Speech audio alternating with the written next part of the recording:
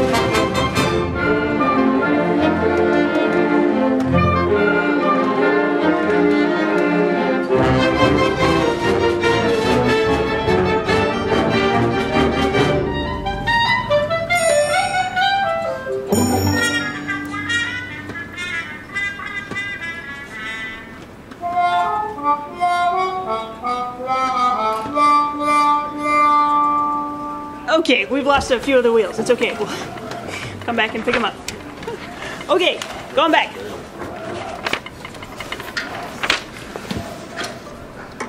Let's go back to number seven for the, the strings. I think uh, I think this can be more, even more sostenuto, even more uh, legato than, than it's happening right now. So this is number seven for uh, uh, violins, violas, and cellos, just for these four bars. Uh, number seven.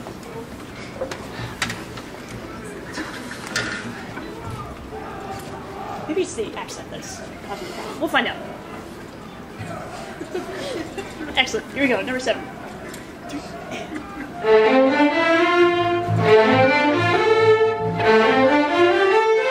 Ah, yeah, yeah, yeah. Okay. Here's here's the thing. So I know there's there's the slur and then there's the articulated note. Can we make that even smoother across it? I know it's articulated. I know you're you're doing all the things that are on the music, but it's just coming across as being a little hokey. So just forget that. Oh man, love those guys out there. Let- Let's let's try it again. Ah, better. Much better, much better. Cool. Keep that. Keep that.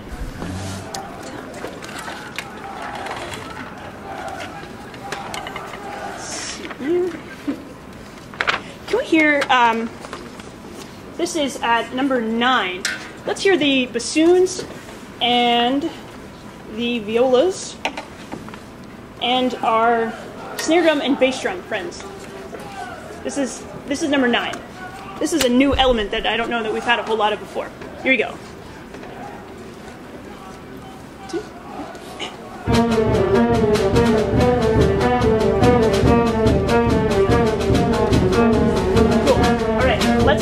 We're gonna have a snare drum demonstration here because I think she's doing just great. Listen to how. Listen to the way she plays the triplets. Do you know if she was back there? Yeah. Do now. Here we go.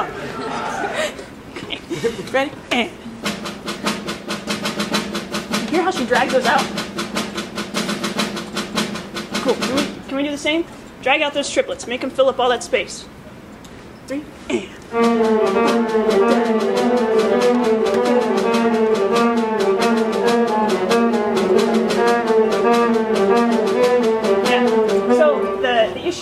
Is that the, the first two notes are getting crunched together. So if you can just space out that second note of the triplet a little bit more, I think I think we'll have it.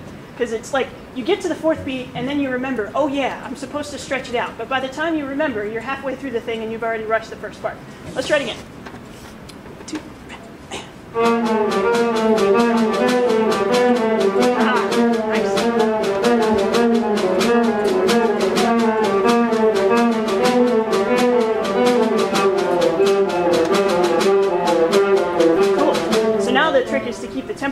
Forward while doing the thing. Yeah, good, good. Trumpets, uh, I think you guys in um, two bars before number nine, there can be more crescendo there to help us lead into that, that next section. Don't, don't be shy about that. That's a jazz moment, let's just bring it up. And also, when we get to number nine, I think overall you guys can be louder and come out of the texture more. At um, number 10, for the oboes and the first alto sax, number one, we can use more of you guys. And number two, I wanted to hear how you do this slap tongue thing that's written. Do you have that written? Um, yes, but I think we decided. Not to do it. Yes, you want me to try it once? Well, I don't want to go against Mark's wishes. Uh, it wasn't loud enough doing it that way? Okay, well then forget what I was about to say. But I think it could be shorter, louder and shorter to maybe mimic that effect of the, the slap tongue. Sorry, it was another jazz moment that would have been super hip, but oh well. Uh, good. Let's go back to number nine now. We'll continue. We've got our full percussion onslaught back there. Okay. Actually, two before. Two before number nine to get our trumpets going. Once more. Once more. Two before nine. Two before nine now. Yeah.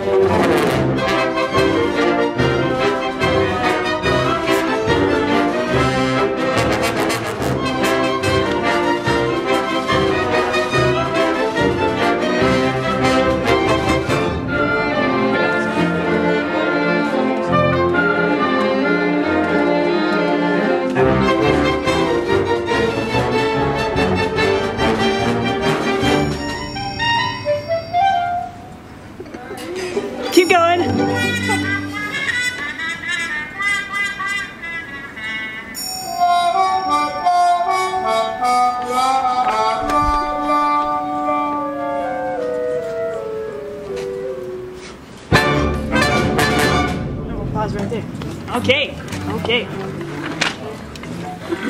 Nice, Mr. Trombone Man back there. Did you guys hear that? it was awesome. Okay, something that wasn't as awesome, um, but we'll get better. This is uh, second violins. Sorry. Um, know the spot. This is before uh, 13. One, two, three, four, five, six bars. Oh, this is also for the violas and cellos as well. And our third horn, which I don't. Will, are you playing? You're on third horn. Perfect. And our bassoons and our first B flat clarinet. These bars here um, sounded very vanilla. I was wondering if we could sass them up a bit, just to. And what I mean by that is just to bring out the the syncopation of it a little bit. It just. Yeah, I don't know. Just didn't work. Let's do um, actually before 13, those people. One, two, three, four, five, six, seven bars, and bring out that uh, the syncopation that you have there. You're supporting what's going on in our, our uh, invisible pianist tonight. So, that place. This is uh, before 13. One, two, three, four, five, six, seven. Ready?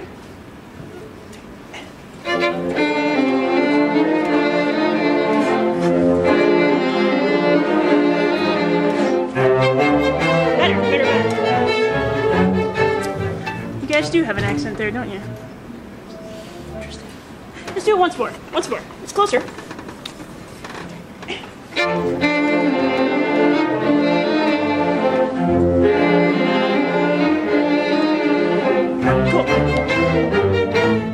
So I know I know that there's this there's this accent printed on the downbeat of these bars. So maybe just a touch less on the accent so we can actually bring out the, the syncopation. To, to me, that's the cool thing that's going on. And the piano's going to hit this big chord on the on the downbeat, so that should take care of the downbeat. But this uh, this offbeat, the and of one, just doesn't seem to have enough kick to it yet. Can we try once more? Here we go.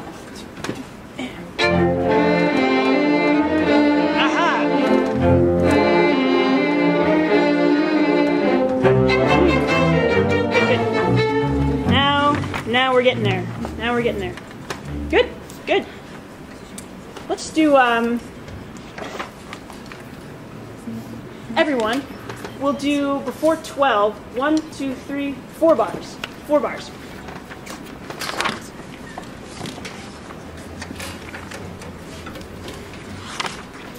And soloist at number 13. I don't know if Mark will decide to, to continue in this way, but let's let's take a little bit more time just to try it for tonight, um, so you guys can really get those wah wah things to come out and just ham it up. Yeah.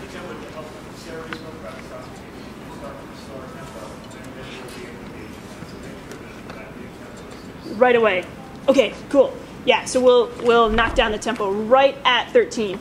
So Sarah will set up the whole the whole thing. Cool. So that place that I said, four before 12. Speaking of Sarah,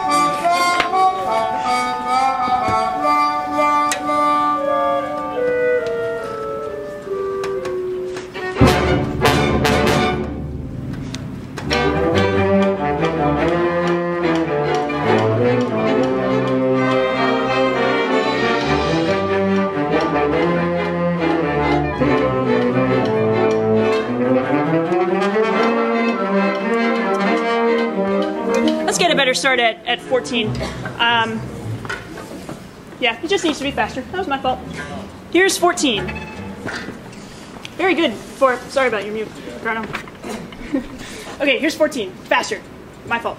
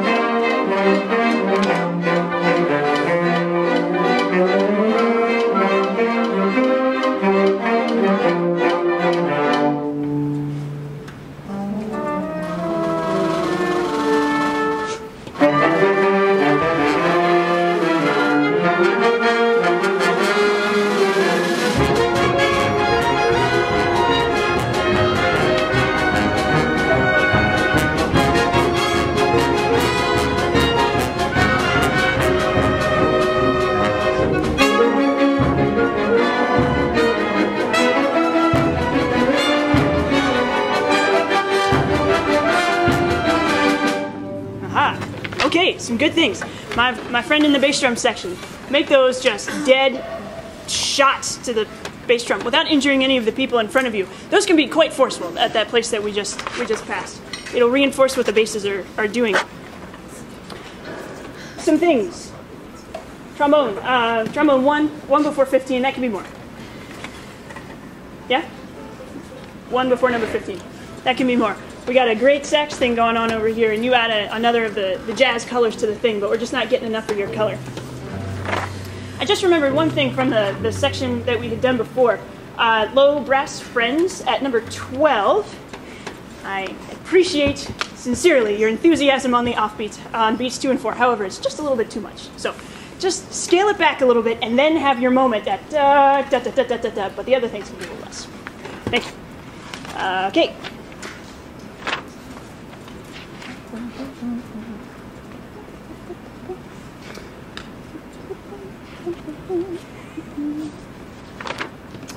I think. Perfect. We're going to go back to number six and now run this entire section all the way through 18.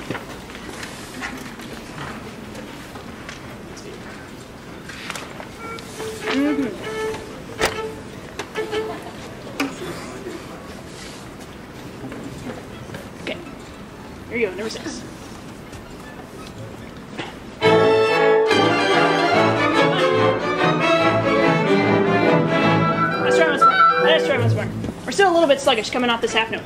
Da off. Da da da da da da da. And one, two, right, and.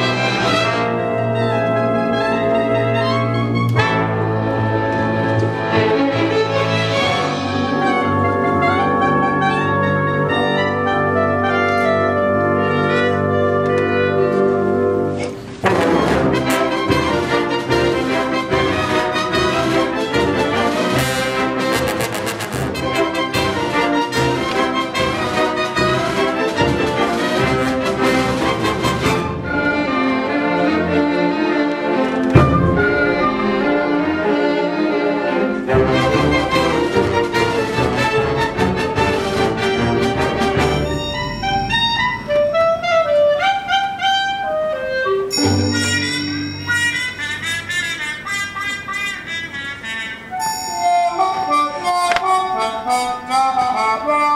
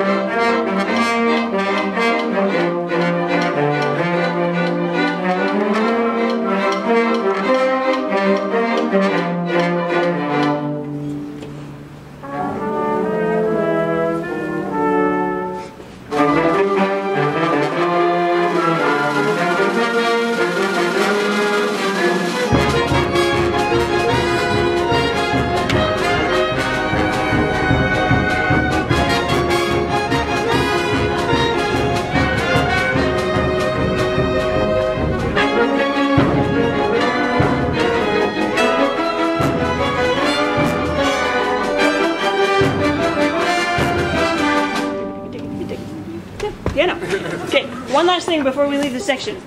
One, sorry, one other, one other string thing that's just a little hokey. That is at number 11 for the, the violins and violas. This is this is sounding right now. These accents are too too classical, too pristine. I wonder if we can make them dirtier somehow. Um, so I think to do that, more uh, more length on them. Oh. Da, da, da, da, da, da. So barely, you know, you're accenting the front of the note, but you're really hanging on to the thing the whole time. This, I'm sorry, this is uh, number 11, two after number 11 for violins and violas. Those accented eighth notes. You have pits. Never mind. This is for the violins only. Uh, my apologies. It split into three lines, and I couldn't comprehend that. Violins. The eighth notes uh, can be longer, still accented but longer. Uh, let, us try that. This is uh, second bar of 11.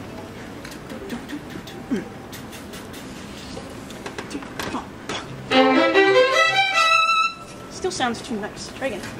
Nasty, mean, New York, swinging. Two, three, four. Better. Once more, and we'll have it. That's what he wanted.